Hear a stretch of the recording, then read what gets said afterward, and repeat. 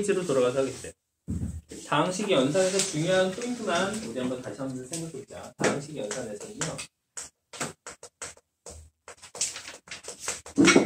연산을 잘할 수 있는 것은 얘는 인수분해.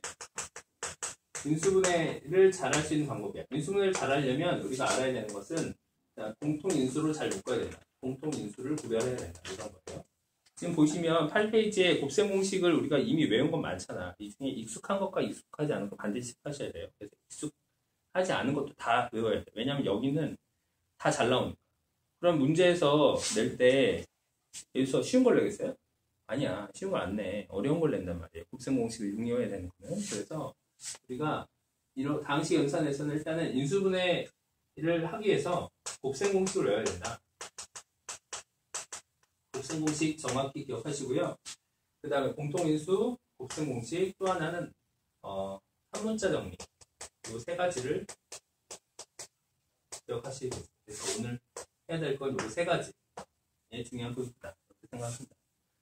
자, 그러면 이 중에서 곱셈 공식 중에 다 아는 것에 대해서 해보겠어요.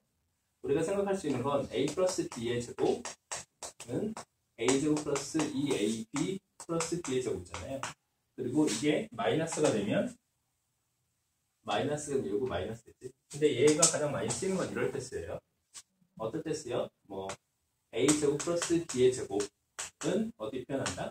a 플러스 b의 제곱 마이너스 2ab 또는 a 플러스 b a 마이너스 b의 제곱 플러스 2ab 변형시킨 식이 많이 사용되고요. 이거 많이 써봤죠? 써봤죠? x 플러스 x분의 1의 제곱은 뭐지? 이게 뭐야? x제곱 플러스 x제곱 x분의 1도 플러스 2 이런 형태를 지금 쓰는 거예요. 이런 형태에서 많이 응용돼. 그래서 얘는 어떻게 쓸 수 있냐면 이걸 똑같이 써서 x제곱 플러스 x제곱분의 1은 x 플러스 x분의 1의 제곱 마이너스 2 이런 식으로 쓴다. 어? 이렇게 쓰면 되는 거예요. 뭐 이런 형태로 얘는 좀 부담 합차 공식은 너무 잘 아니까 패스. 중간 다 패스하는데 5번 공식 보겠습니다. 5번. a 플러스 b 플러스 c 의 제곱은요. a 제곱 뭐이 맞지?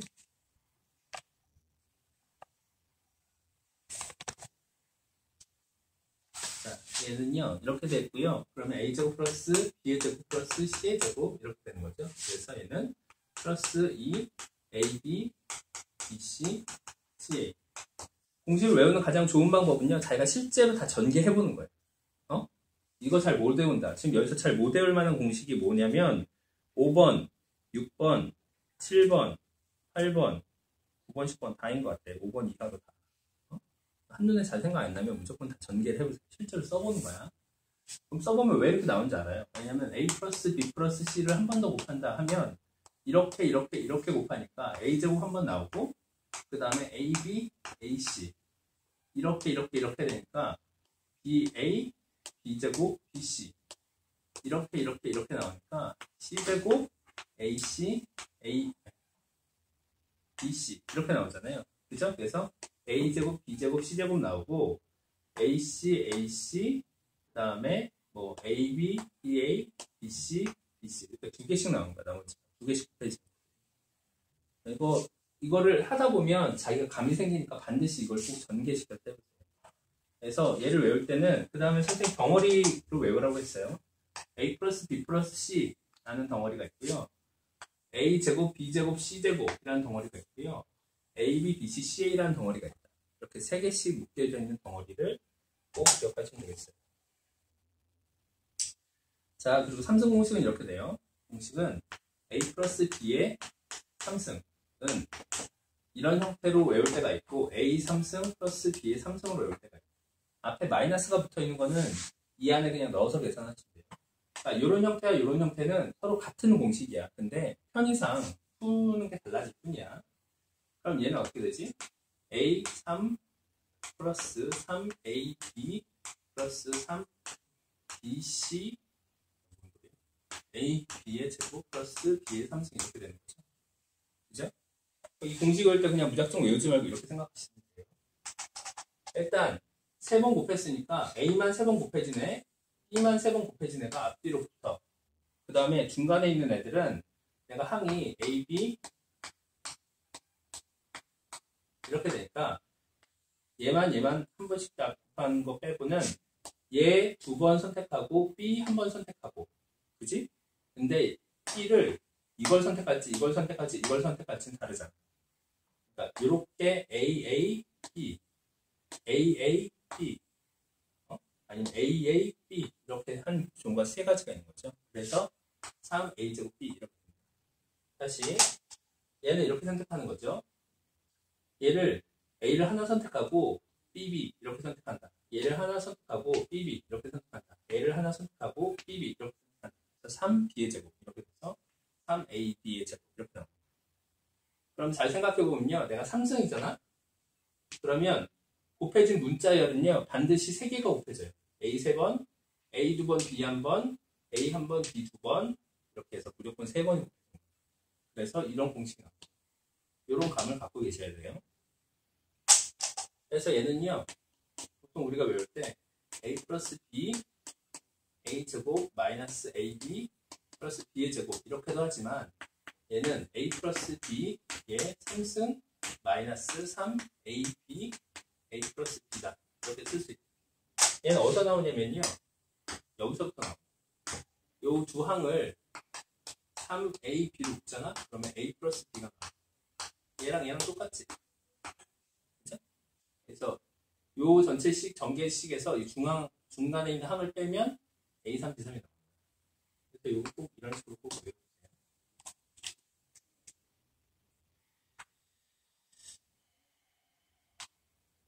자, 6번은요, 근각의 수의 관계에서 많이 쓰여요. 6번은. 우리가 세우는 게 어떻게 풀지? A.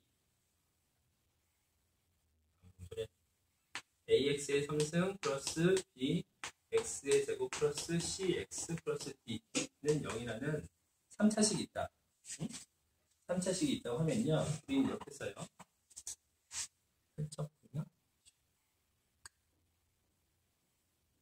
이렇게 되면 나는 근각의 수연계 알파, 베타, 감마란 세 식이 있을 때 세 근의 합은 뭐분의 뭐가 되지? 마이너스 a분의 b 이런 식이 되는 거죠. 두 알파 베타 더하기 베타 감마 더하기 감마 알파 두 개씩 곱하는 것은 a분의 b가 됩니다. 세 개 알파 베타 감마를 곱하면 마이너스 a분의 b가 됩니다. 이렇게 하는 거예요. 그래서 더하기 두 개 곱하기 완전 다 곱하기 이런 관계로 이렇게 이렇게 이렇게 되는데 마이너스 플러스 마이너스의 부호를 부족합니다.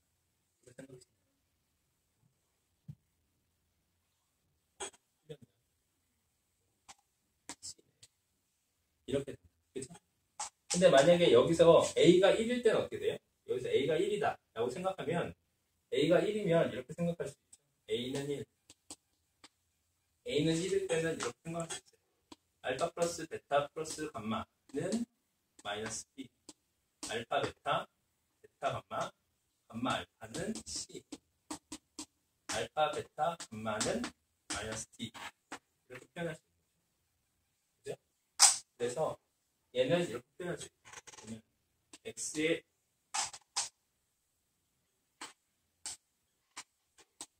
X의 3승 마이너스 알파 플러스 베타 플러스 감마 x의 제곱 플러스 알파 베타 베타 감마.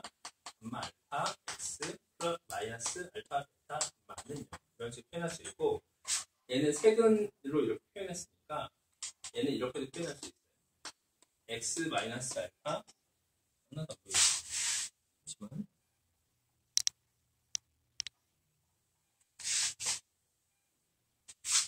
x 마이 얘는 x 마이너스 알파, x 마이너스 베타, x 마이너스 감마는 0 이런 식으로 표현할 수 있어요.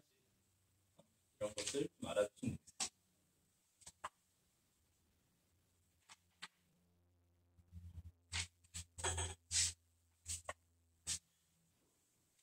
자, 그래서 곱셈 공식 대해서 좀 더 해보면 이런 있다. 음, 문제 중에 a 제곱 플러스 b의 제곱 플러스 c의 제곱 마이너스 ab 마이너스 bc 마이너스 c a 이런 식이 거예요. 얘는 뭐가 빠졌지? 뭐가 빠졌니? 그냥 원래 어디 원래 우리가 생각하는 완벽한 형태는 이거죠. a 플러스 b 플러스 c의 제곱은 a 제곱 플러스 b 제곱 플러스 c 제곱 플러스 2ab 플러스 bc 플러스 ca 그치? 얘는 될 수가 없어. 그러니까 요, 요런 방식은 되죠. 얘에다가 전체 곱하기 2분의 1을 이렇게 따로 떼서 묶어요. 2분의 1을 묶으면 나머지 항이 2a 제곱 플러스 2b의 제곱 플러스 2c의 제곱 이렇게 되고요. 마이너스 2ab 마이너스 2bc 마이너스 2ca 그럼 얘는 이렇게 얘랑 얘들을 중심으로 2ab 2bc 2ca를 중심으로 앞에 a제곱 b제곱 b제곱 c제곱 뭐 c제곱 a제곱을 이렇게 붙여. 붙이면 얘를 뭘로 바 완전 제곱식으로 바꿀 수 있죠? 그래서 얘는 a-b의 제곱 b-c의 제곱 c-a의 제곱 이런 형태로 바꿀 수 있어요 그래서 얘를 다시 쓰면 얘는 2분의 1 한 다음에 a-b의 제곱 플러스 b-c의 제곱 플러스 c-a의 제곱 이런 식으로 식을 정리할 수 있어요. 되게 잘 나와. 어떨 때 어떨 때 이 식이 0이 될까요? 모모의 제곱, 모모의 제곱, 모모의 제곱 얘는 항상 뭐보다 크다? 0보다 크거나 같다 이렇게 생각할 수 있어요. 같을 때는 어떨 때? 얘가 0, 0, 0 될 때잖아. 어떨 때? A는 B는 C가 될 때. 그때서야 0이 된다. 이런 걸 가지고 문제를 많이 내. 네. 이거 꼭 기억하시고요. 자, 마지막으로 다항식이 나왔으니까 조립제법 하고 저는 끝내겠습니다. 설명을.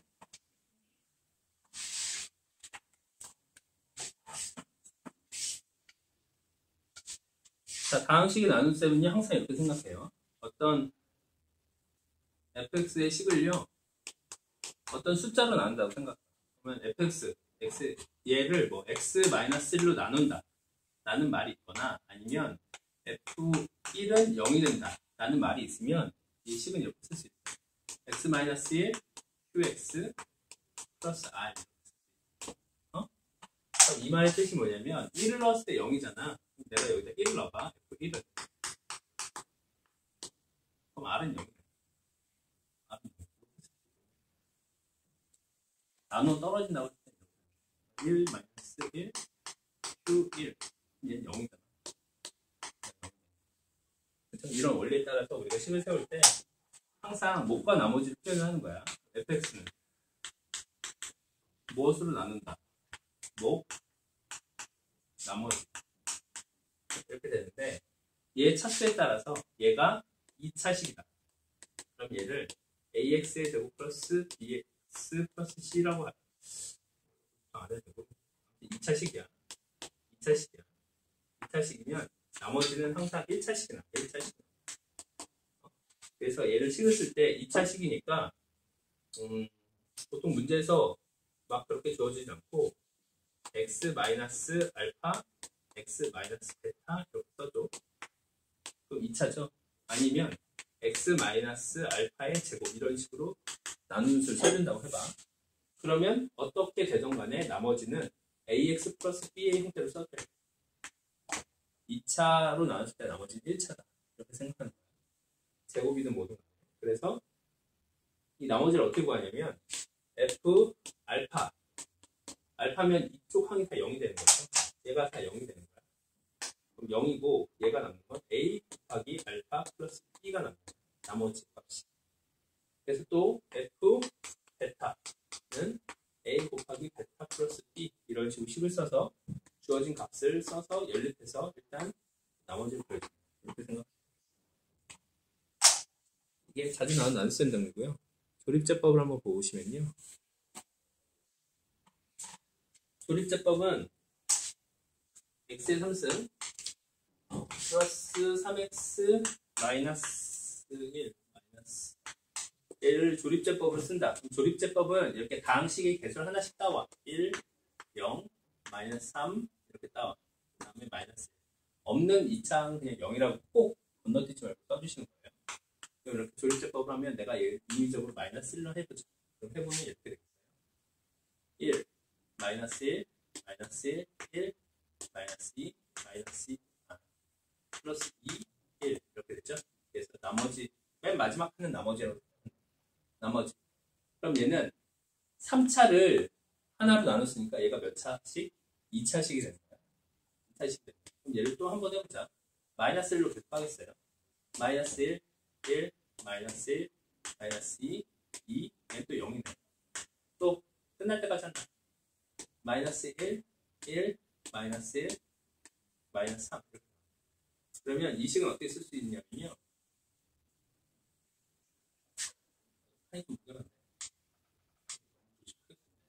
그럼 일단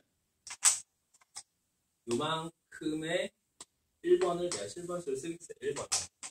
1번. 1번에 이렇게 써. x 플러스 1 x의 제곱 마이너스 x 마이너스 2 플러스 1 이렇게 쓴다. 이게 왜 중요한 거야? 어, 호준이도 모를걸? 잘하는 호준이도 날지 모르겠어. 자, 이번엔 두 번째 식을 써. 요 라인을 쓰겠어요. 요 라인. 요 라인은 어디서부터 나오는 거냐면요. 얘를 나눈 거야. 그래서 얘를 x 마이너스 1로 나눴더니 얘는 x 마이너스 2 이렇게 끝난다. 여긴 0이다. 0. 요 판을 이렇게 2번이야. 3번을 할까 3번. 어, 3번은 무슨 걸로?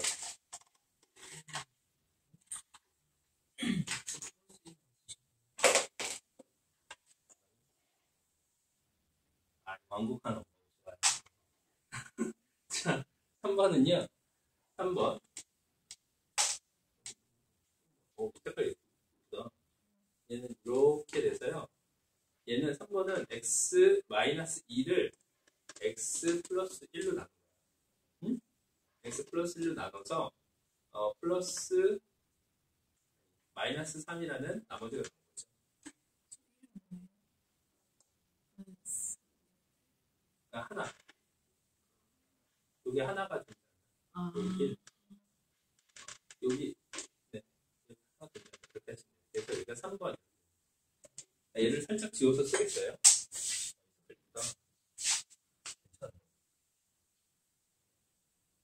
다 썼지? 이 정도는. 자, 요걸 그대로 쓰면요. 첫 번째 1번씩. 1번씩에 다 대입, 대입해서 넣겠어. 3번을 여기다 넣겠어요. 그러면 2번에다 넣으면 x 플러스 1의 제곱 마이너스 3 x 플러스 1 플러스 0 3번을 2번에서 넣은 걸 여기다 쓴 거야. 다시 얘를 1번에다 넣으면요. 전체에다가 x 플러스 1을 곱하고 플러스 1을 붙이니까 전개하면 얘는 x 플러스 1의 3승 마이너스 3 x 플러스 1의 제곱 얘는 0이지 플러스 0 돼서 플러스 1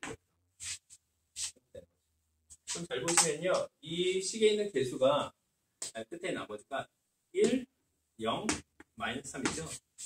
1 여기 원래 1차항이 있어야 되는데 없으니까 0 그 다음에 마이너스 3 이렇게 개수가 그리고 마이너스 1 해당되는 건 얘는 x 플러스 1이라는 항이니까 이게 한 번, 두 번, 세 번 돼서 이게 3승 부터 시작 이런 식